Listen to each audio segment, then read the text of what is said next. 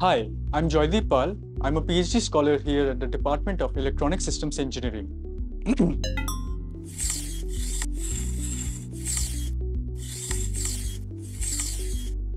My interest in embedded systems led me to apply to IISc's research program at DAC through GATE.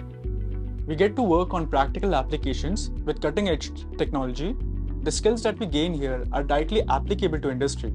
Here, my advisors, Dr. Prabhakar and Dr. Chandramani, offer continuous guidance and encourage free flow of ideas. One unique aspect of IISc is that you can work on interdisciplinary projects and you can attend courses offered by different departments. So for example, a biology student can work with mechanical and electrical science departments.